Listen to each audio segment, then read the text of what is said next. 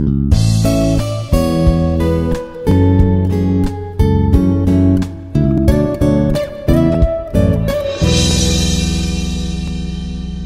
morning. This is B. Working as assistant professor in AEC department. And today's topic is collector to base bias.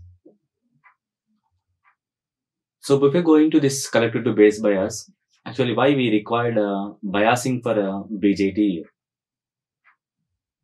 And if we consider the transistor, the transistor major application is acts as a amplifier. When the transistor is uh, configured in active region, we know that the transistor is acts as a amplifier. So once the amplifier is a design, we need to maintain uh, the collector current is uh, constant means that to maintain a proper Q point to define the transistor is acts as uh, amplification. But due to the temperature, the parameters like uh, beta means uh, the current gain of the transistor and the reverse saturation current of the transistor and uh, the input biasing voltage between the your input terminal and the common terminal suppose if we consider the common emitter configuration the biasing voltage between uh, base and emitter is affected here means that due to the temperature parameter current gain reverse saturation current and the VB parameters affects. And these three parameter also affects the, the change in uh, collector current here. If the collector current is a changes, the Q point is also changes means either it triggers towards saturation region or it triggers towards the cutoff region here. Whenever the Q point changing towards saturation or a cutoff, the amp means it losses the amplification process means it losses the some portion of the given input signal hence to produce a faithful amplification by using bipolar junction transistor always we need to maintain a proper q point or operating point in a active region. So that is the reason to maintain a proper q point we need to biasing the uh, amplifier circuit with respect to biasing components that is biasing resistances and uh, biasing sources. And if we consider this uh, a different biasing methods so one is uh, fixed bias another one is collector to base bias and another one is uh, self bias in a fixed bias we observe that the stability factor is always greater than of 1. So we observe that in a fixed bias, the stability factor is defined as 1 plus beta times. In a common emitter configuration, the current gain of the transistor is always lies between 50 to 500. Let us consider the minimum current gain of a given bipolar junction transistor also. In a fixed bias, the stability factor shows that 51 year. That is the reason. The fixed bias method is not suitable for design a perfect amplification by using the bipolar junction transistor. That is the reason today we are going to discuss another methodology that biasing methodology here it is called as collector to base bias. So coming to your collector to base bias, in a fixed bias, the base resistance is biased from the fixed voltage source. If we consider the collector to base bias, the base resistance is removed from the constant voltage source and it is biased through the collector terminal to your base terminal.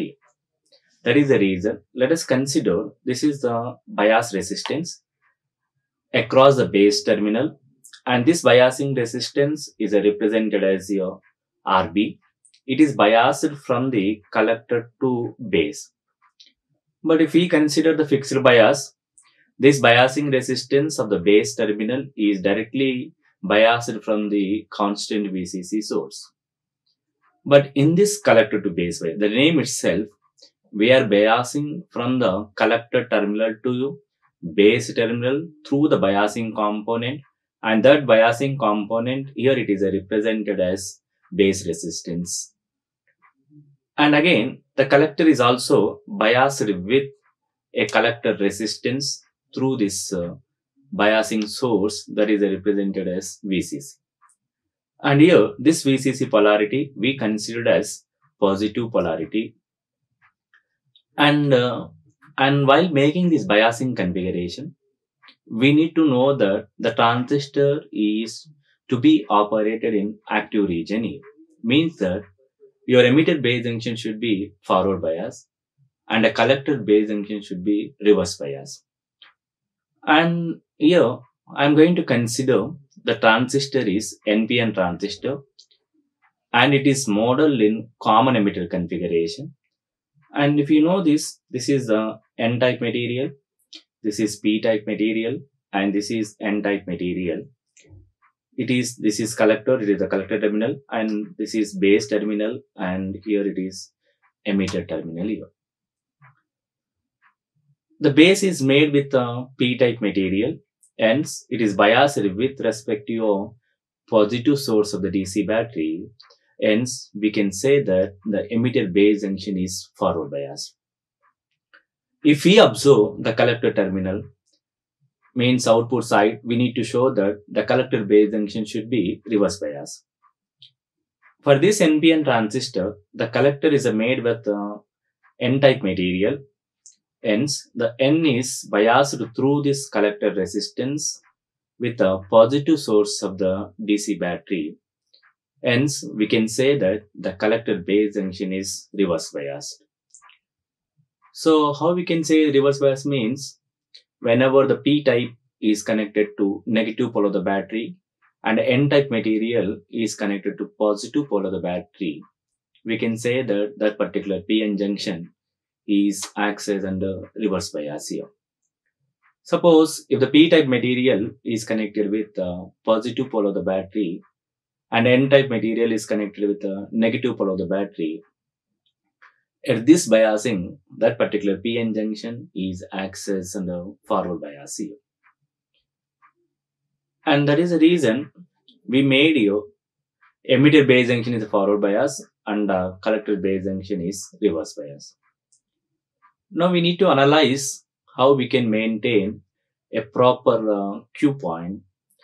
In this configuration, if the temperature is a changes, let us assume that if the temperature is a changes, we know that with respect to temperature, the reverse saturation current of a BJT is also changes.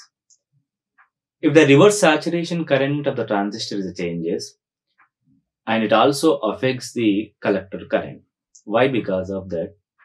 From the generalized expression of your this common emitter configuration, we know that the collector current is represented as beta times of IB plus 1 plus beta times of IC naught or it is also called as ICBO.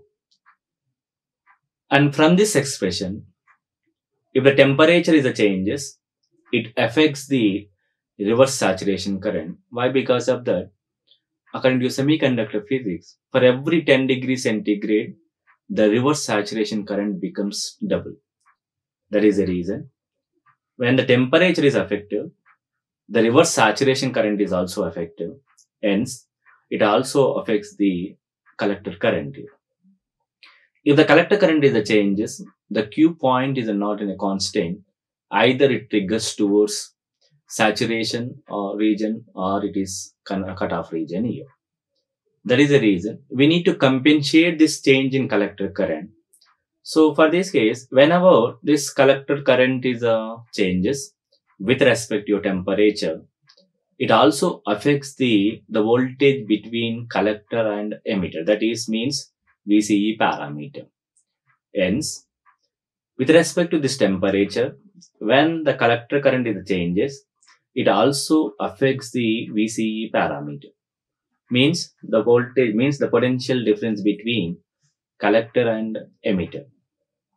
So whenever this potential voltage, when the collector current is increases, the potential drop between collector and emitter is decreases. Hence, it decreases the base current. So if the base current is a decreases, proportionally the collector current is also decreases.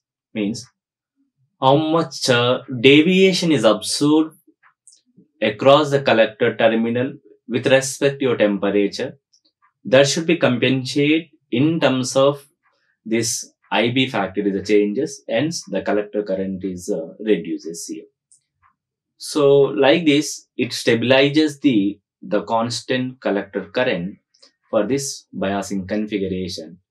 Whenever the current becomes stabilized means your Q point or operating point is also stabilized.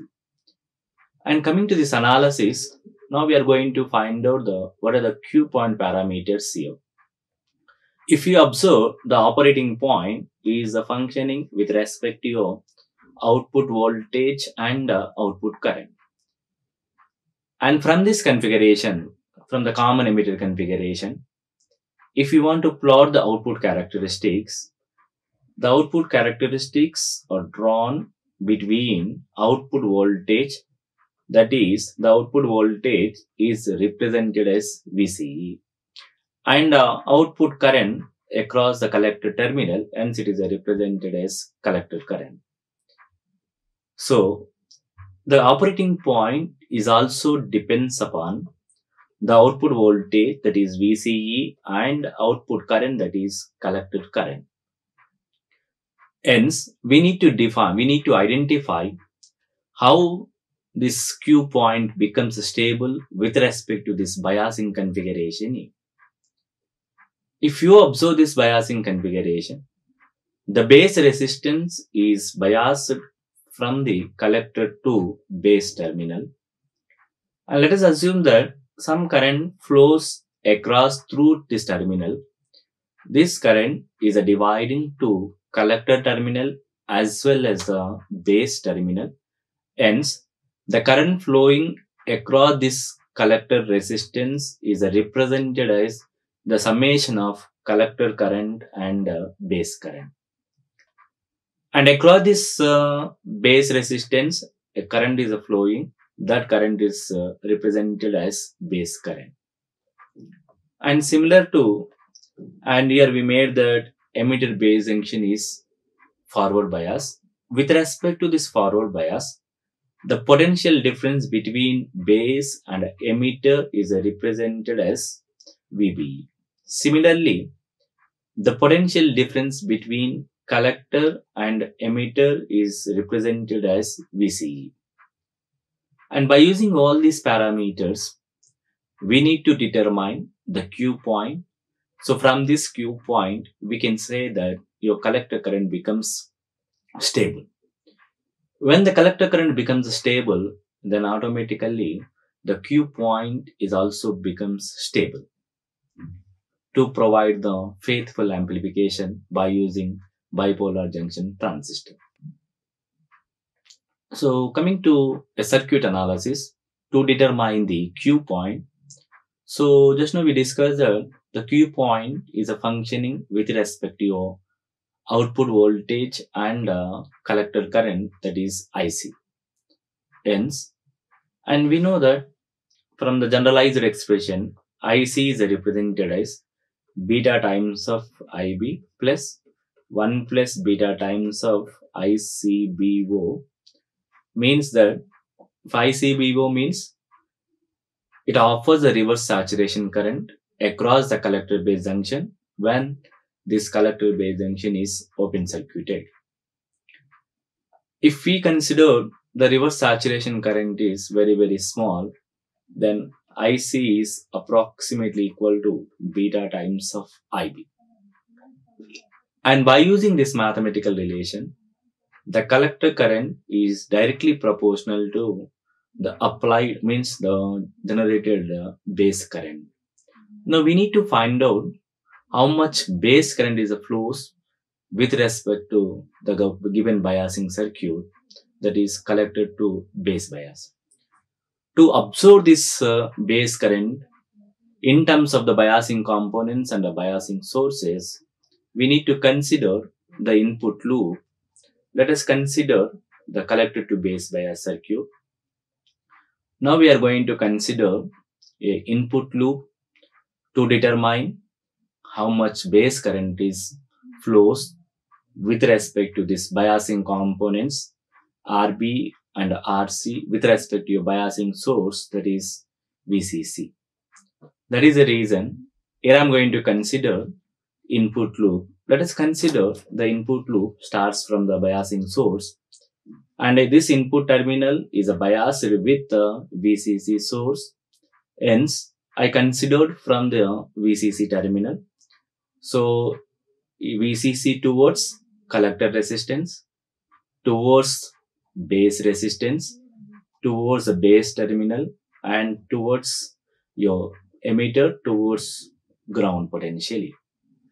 So now consider this input loop and in this input loop, now we are going to define how much uh, base current is the flows with respect to this biasing parameters. Let us consider the entering source is VCC. Hence, now we can apply the KVL principle with respect to your KVL loop.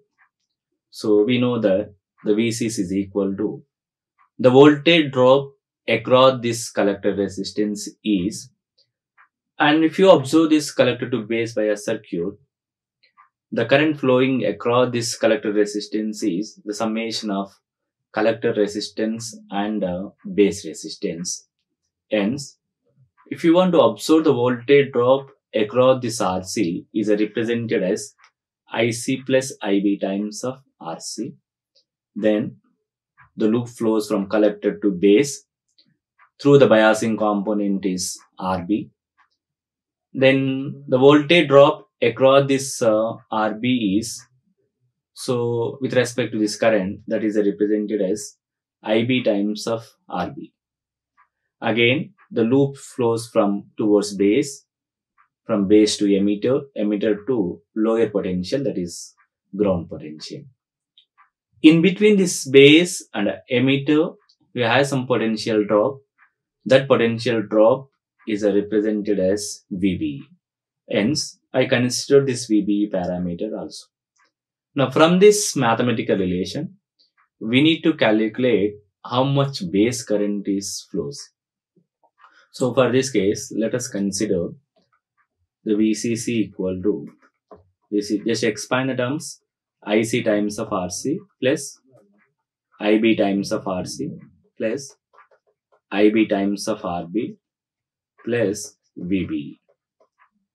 Now, I make this VB is outside. So that is VCC minus VB equal to IC times of RC plus if IB is a common, you can is represented as RC plus RB. From this relation, we require the base current, hence IB is equal to VCC minus VBE by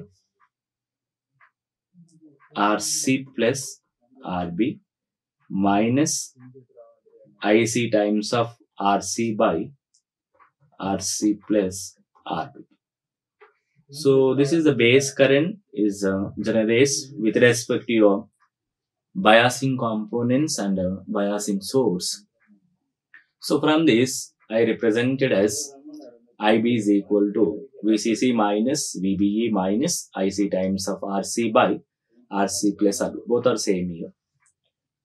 Now, we need to find out how much uh, collector current is generated with respect to this base current ends for the same uh, input loop.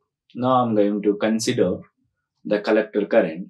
We know that when the reverse saturation current is very, very small compared with your input current, approximately we represented as the collector current is equal to beta times of IB. So now we observe this, how much uh, base current is flows with respect to this biasing components. Now we can substitute this base current value here. So now IC is equal to beta times of IB is VCC minus VBE minus IC times of RC by RC plus RB. So up to this point, one Q function parameter is observed that is collector current. And again, the Q or operating point is also depends upon another parameter that is a voltage parameter that is related to output side. So from this configuration, at the output side, the output voltage is represented as VC, means the potential difference between collector and emitter. Hence, we need to find out how much voltage drop is generates in between from collector to emitter terminal here. So, I'm going to consider the output loop in this collector to base bias circuit if I consider the output loop means starts from the VCC towards the collector resistance and towards the collector terminal and towards emitter and emitter to lower potentially. Hence, you consider this loop, then apply the KVL. Now write down the expression of this collector to base bias at the output loop. And again, if you observe this output loop, this is biasing with a VCC means the source is VCC hence VCC equal to the voltage drop across this RC is represented as IC plus IB times of RC along with again the loop flows collector towards emitter towards lower potential. So in between collector and emitter a potential difference is there. The potential difference is represented as VCE. That is the reason I represented as VCE. From this equation, we need to find out this VCE. Hence, VCE equal to VCC minus, just take this outside, VCC minus IC plus IB times of Rs. So up to this point, we observe that the Q point parameters that is functioning with respect to IC and uh, VC. Now we need to find out is it uh, provide the perfect stabilization or not by using this fixed bias configuration to satisfy the faithful amplification by using this bipolar junction transistor. For this case, now we are going to calculate the stability factor of this collector to base bias circuit.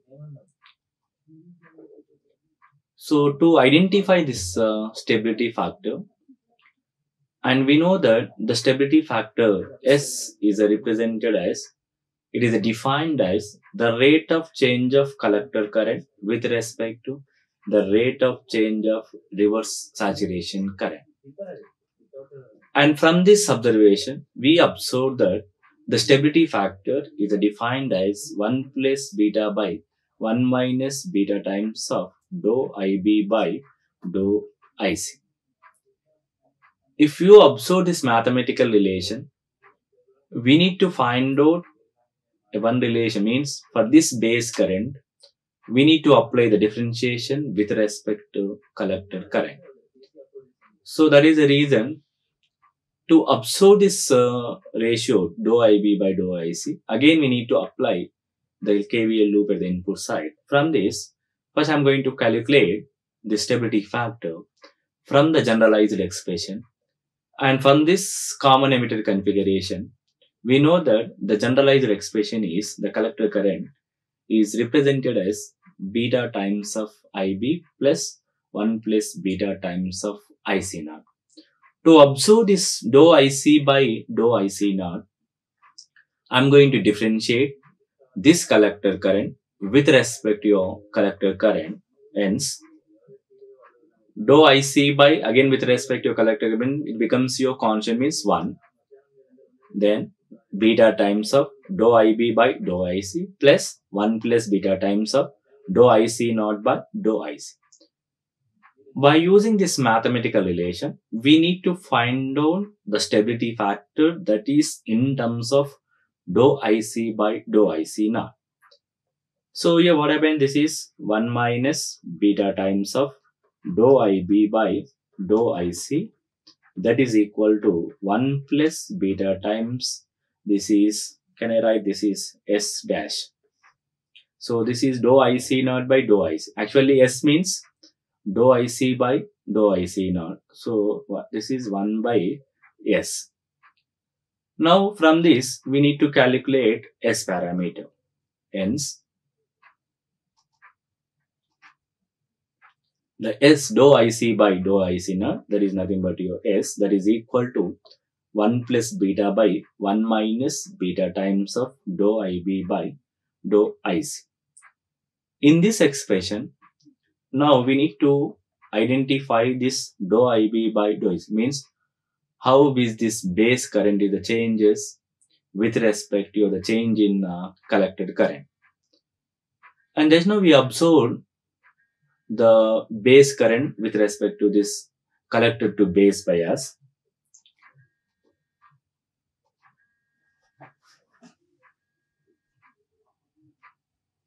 So that is IB is represented as VCC minus VBE minus IC times of RC by RC plus RB. Just now we observe this base current with respect to uh, the input loop. So in input loop, we apply the KVL principle and from that we derive this base current that is in terms of this one VCC minus VBE minus IC times of RC by RC plus RB. Now we need to find out the rate of change of this base current with respect to the rate of change of collector current. Hence, here I am going to apply this for this differentiation for this base current with respect to collector current.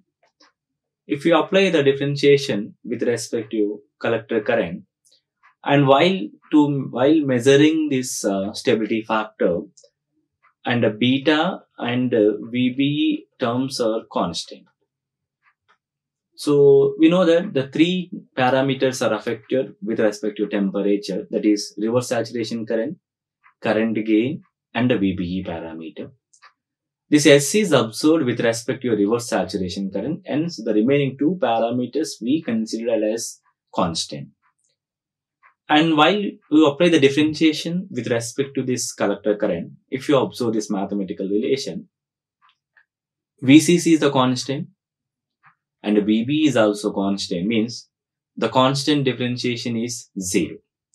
Only thing is that this term with respect to IC, then when you apply the differentiation with respect to differentiate IC, it becomes minus RC by RC plus RB. So that is the reason dou IB by dou IC, it gives that minus RC by RC plus R. Now we need to substitute this dou IB by dou IC value in this stability factor. Then it gives 1 plus beta by 1 plus beta times of RC by RC plus R. And compared with your fixed bias, in a fixed bias, the stability factor, we observe that 1 plus beta. And comparing this with a fixed bias, here the stability factor is, is reduces, means it is uh, approaching towards unity factor com compared with your this fixed bias stability factor. To make this stability factor to approaches to the unity factor here, we need to consider either the collector resistance should be large or the base resistance should be very small. If we make this collector resistance is large, your stability factor is almost reduces towards unity factor. Or if the base resistance to make the small, then it is also reduces towards means or it is approaches to unity factor. Suppose if you apply the very small resistance, collector resistance at the output side, so this stability factor is again approximately equal to your 1 plus beta times u. That is the reason and this biasing method is also not suitable for designing the amplifier by using the bipolar junction transistor with respect to this collector to base bias. To further improve the stability factor. So now here I'm going to make a I'm going to apply another uh, feedback resistance across the emitter side that is called as collector to base bias with a emitter resistance here. So hence, I'm going to consider this collector to base bias with emitter resistance. So in a previous case, the emitter is directly connected to your lower potential. To further reducing the stability factor means to approaches the unity factor. So here I'm going to apply another uh, feedback resistance across the emitter terminal. Hence, that biasing resistance is uh, represented as RE. And again, the base resistance is biased from the collector to base through the biasing component that is a base resistance is R. Across this base resistance, it allows the flow of current. It is represented as base current that is IB. Similarly, across this terminal, the current is divided to collector res- resistance and uh, base resistance. Hence, the total current is represented as the summation of collector current and base current. The current flowing across this biasing resistance, that is the emitter resistance, here it is represented as emitter current, that is I. And between this base and emitter, the potential drop is VBE. And the potential drop between collector and emitter is represented as VC, means the potential difference between collector and emitter, that is VCE. The potential difference between base and emitter, that is represented as VBE. Now again, by using this uh, collector to base bias with emitter resistance, or it is also called as emitter feedback bias or collector to emitter bias also here. And by using this biasing method, we need to first find out how we can stabilize the Q point, means how we can maintain a constant Q point with respect to your, the Q point parameters, that is a output current IC and uh, output voltage is VC. Hence, we need to determine these two parameters, how much collector current is generates with respect to this biasing method and how much uh, output voltage that is a VC is generates with respect to this biasing components. To observe this method, to observe the collector current, again here I am going to apply the input loop, KVL the input loop for this collector to base bias with the emitter resistance. If you apply this uh, KVL at the input loop, the loop starts from VCC towards collector resistance and collector to base resistance through towards base and towards emitter and towards emitter resistance and towards lower potential. By using this input loop, we need to find out how much base current is flows. With respect to this biasing method, now if you want to write the mathematical relation or the KVL loop, and based on that one, the starting source is VCC, hence VCC is equal to the voltage drop across this RC is represented as IC plus IB times of RC. So this term is the voltage drop across the RC. Similarly, the loop flows towards base resistance. Hence, the voltage drop across this base resistance is represented as IB times of RB. And again, towards base to base resistance to base. From base to emitter, in between this base and emitter, a potential drop is represented as VBE. Hence, I taken this VBE term. And again, from the emitter to lower potential, a biasing resistance that is RE. And we need to find out the voltage drop across this RE. So the voltage drop across this RE is represented as IE times of RE.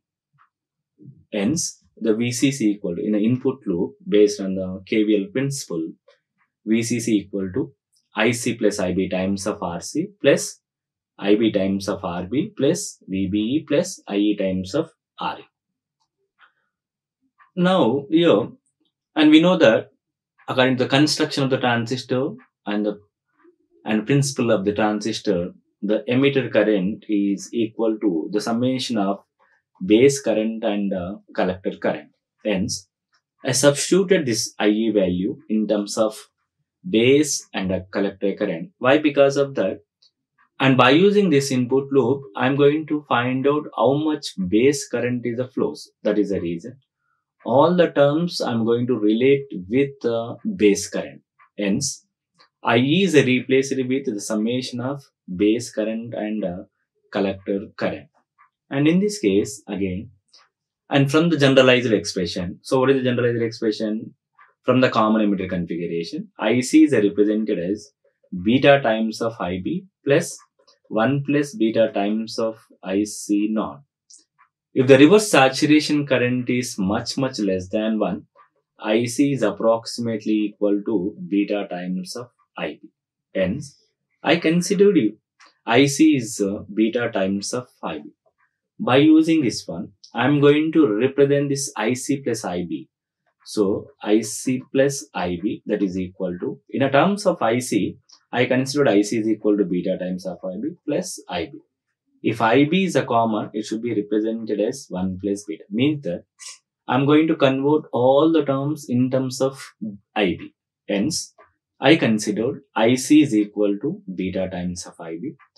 Based on this assumption, this IC plus IB is represented as 1 plus beta times of IB. Now I'm going to substitute this 1 plus beta times of IB in this IC plus IB. Hence, this VCC becomes so 1 plus IC plus IB is a replaced with 1 plus beta times of IBRC. This is IBRB plus VB again. So here we have that uh, IC plus IB. That IC plus IB is replaced with 1 plus beta times of IB times of RE. So by using this equation, now we need to find out that VC is equal to 1 plus beta. Now we take the common terms for IB. So this is RC, by IB times of RC. And again, this is 1 plus beta IB times of R means that is the reason.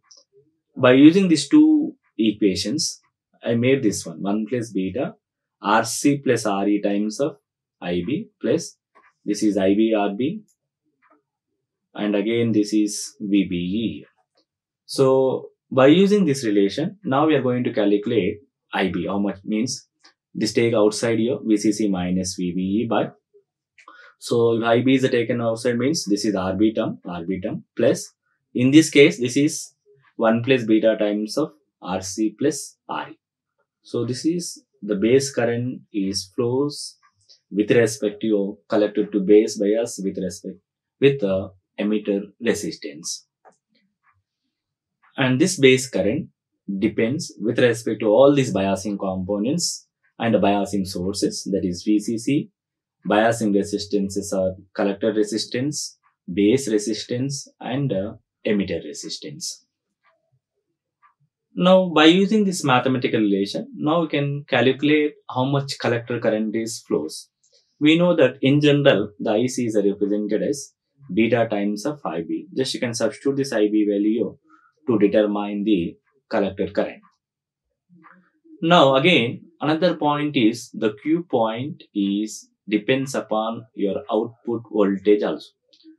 To observe this another Q point parameter, we need to apply a KVL loop at uh, output side in this collector to base bias with a emitter resistance. Hence, I'm going to consider the output loop. The loop starts from VCC towards collector resistance, towards the collector terminal, towards emitter, towards the emitter resistance and towards lower potential. Hence, you consider this loop. By using this loop, we are going to write how much uh, output voltage is generates. So then we need to start from the voltage source, hence the VCC equal to the voltage drop across this RC is represented as IC plus IB times of this RC. Hence, this is voltage drop across the RC. The loop again flows towards collector towards emitter. And in this case, we observe that the potential difference between collector and emitter is represented as VCE. And this is the VCE. And the loop again flows towards emitter resistance towards the lower potential. Now we need to find out the voltage drop across this emitter resistance that is represented as IE times of RC.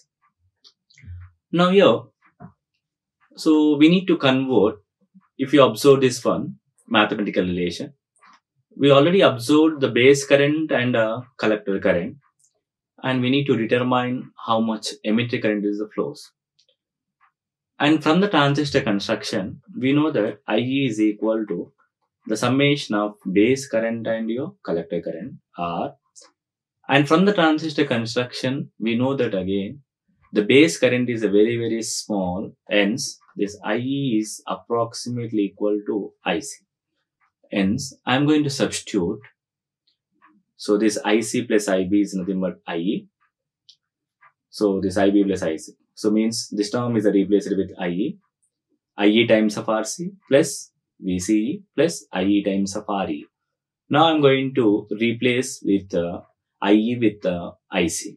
Why? Because of that we identified the Q function or operating point in terms of IC. That is the reason I I replaced this emitter current with a collector current. Why? Because of the from the transistor principle, the collector current is approximately equal to emitter current. Hence, VCC equal to IC times of RC. So means IE is replaced with IC. Then again this VCE is a VCE. IE is replaced with again IC. So from this we need to find out the VCE term. So VCE equal to VCC minus. In these two terms IC is a common. Hence RC plus RE times of your IC. So up to this point, we identified again uh, Q point parameters here with respect to your IC and uh, VC. Now we need to determine is it provides a, a, good stable factor or not by using this collector to base bias with uh, emitter resistance. To observe this uh, stability factor again, so we need to, if we observe the stability factor, we defined as, S is a defined as the rate of change of collector current is changes with respect to the rate of change of reverse saturation current. We also observe that this dou IC by dou IC naught that is equal to 1 plus beta by 1 minus beta times of dou IB by dou IC. Hence, first we need to find out how much base current is the flows with respect to this collector to base bias with emitter resistance. Then we need to apply the differentiation for this base current with respect to the collector current. So for this case, to absorb this base current, here I am again applying the KVL at the input loop. From this loop, we can write the KVL expression. So VCC equal to the voltage drop across this RC is represented as IC plus IB times of RC plus the voltage drop across this RB is represented as IB times of RB and the potential difference between base and emitter is represented as VBE. This is VBE. And the voltage drop across uh, RE resistance means that is IE times of RE. And by using this one, now we can, uh, again, we know that IE is nothing but your the summation of base current and your collector current. So here, you can expand these all these terms VCC is equal to IC times of RC plus IB times of RC plus IB times of RB plus VB. Again, you can expand these terms. IB times of RE plus IC times of RE.